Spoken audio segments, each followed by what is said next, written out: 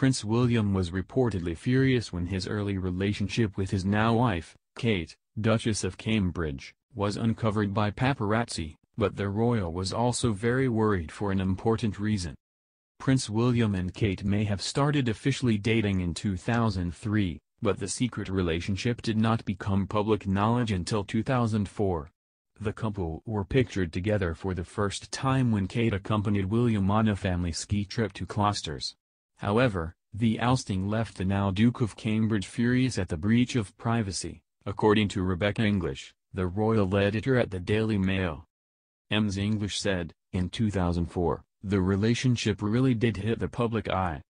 Unfortunately for them, a paparazzi photographer took pictures of William and Kate clearly